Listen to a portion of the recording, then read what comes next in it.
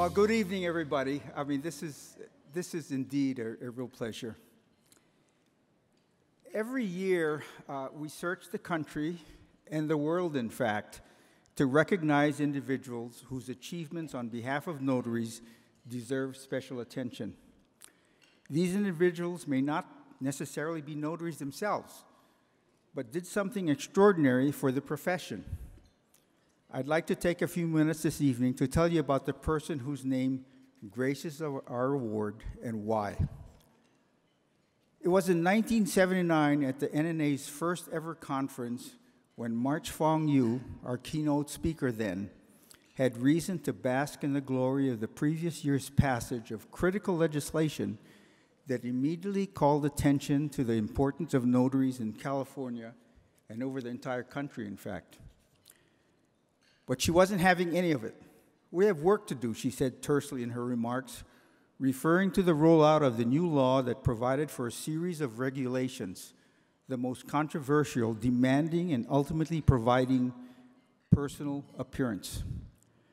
Implementing the new law and educating notaries, their employers, and the public had become a priority in her office. It all started a few years earlier when, with our help, Secretary Eu learned that many notaries were not adhering to the law that requires a signer to personally appear before a notary for an acknowledgement or an oath.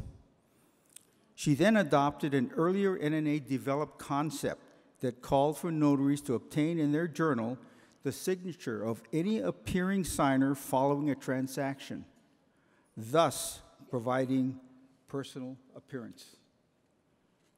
It was a simple concept that Secretary Eu felt any reasonable and law abiding person would accept without obligation or even objection. But it was not to be, as all hell broke loose in the financial, real estate, and other industries when she introduced legislation in 1976 with the journal signature provision. The state's powerful real estate, title, banking, legal, and insurance lobbyists rebelled and easily defeated her efforts, surprising her and, in fact, even the NNA.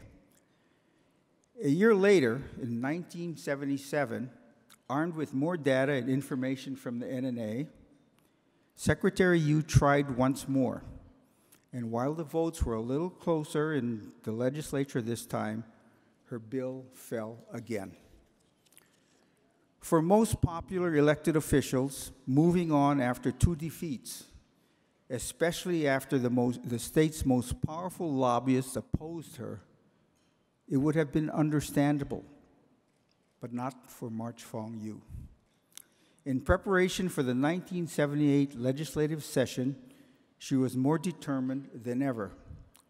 She worked hard to make legislators understand the value of the age old practice of notarization and with the NNA's help, she conducted campaigns to educate the public all throughout the state and even outside of California. And then she boldly announced her opposition I'm not going away until we have a strong notary law in California. The rest is history, as they say, with her proposed bill finally winning in the legislature. And even many of the opponents bowed to her and the merits of her new law. But few realize how significant Secretary Eu's strong commitment to notaries turned out to be. There already had been talk about eliminating the need for notarization. Can you imagine that? At least a couple of states introduced failed measures to do away with notaries. California, too, saw legislation, ultimately defeated happily, that would have changed the office's title to certified witnesses.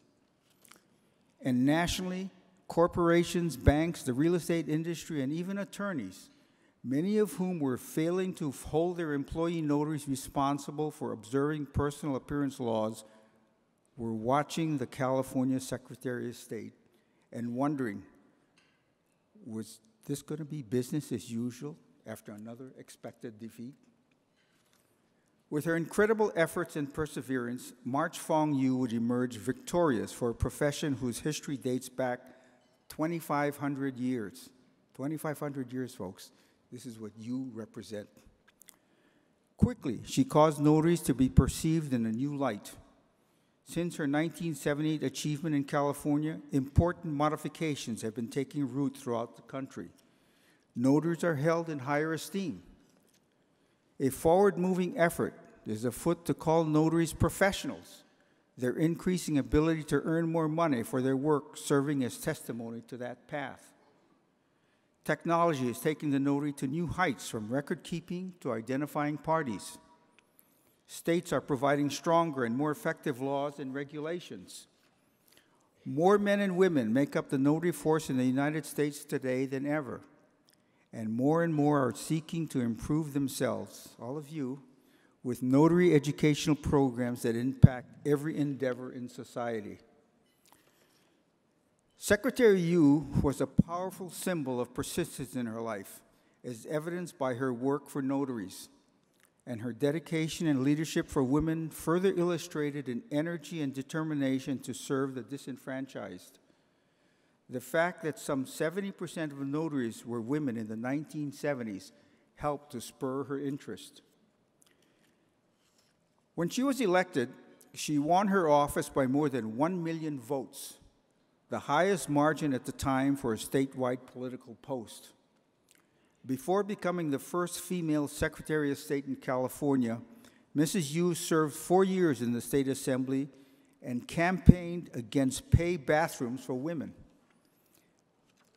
She said this requirement, making women fumble for pocket change in their purses just to use a bathroom, symbolized women being treated as second class citizens. Mrs. Eu's two decades as Secretary of State included many moderations beyond notaries. Implemented, like, for example, she implemented innovations that expanded access to voting, including some online registration and absentee ballots. March Fong Eu's attitude and perseverance stemmed from her ancestry. She was the daughter of Chinese immigrants in Northern California and was often told that her ethnicity would prevent her from advancing in school or in, or in a career, despite outstanding academic performances. Now, being of part Chinese ancestry myself, I was often teased by March, with laughter, of course, that not everyone can be good enough to be full Chinese.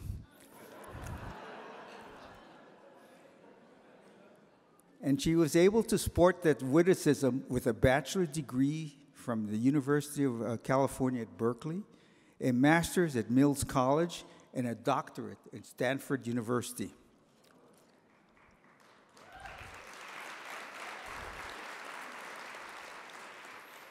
As we say in some circles, she wasn't chopped liver.